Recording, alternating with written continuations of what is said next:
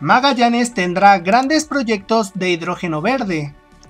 La Seremi de Energía de Magallanes, María Luisa Ojeda, recordó que cinco de las siete comunas que están desarrollando sus estrategias energéticas locales son San Gregorio, Laguna Blanca, Río Verde, Porvenir y Primavera, quienes albergarían proyectos de hidrógeno verde y sus derivados.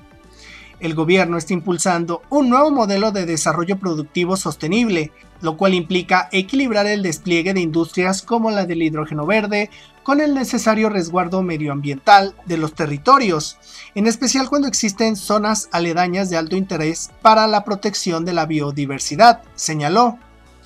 La titular regional del ramo valoró además la participación de las autoridades locales, tales como los alcaldes y concejales. También resaltó la presencia de representantes de empresas del sector energético.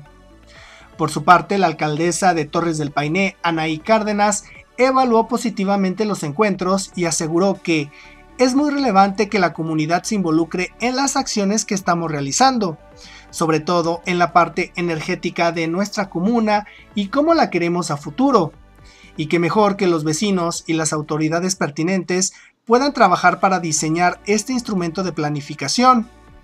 Hoy siento que gracias a esto hemos avanzado para enfrentar los próximos talleres con una visión un poco más acabada sobre nuestros objetivos energéticos, señaló la alcaldesa.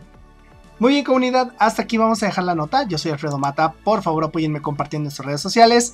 Yo les dejo un gran abrazo y que estén muy bien.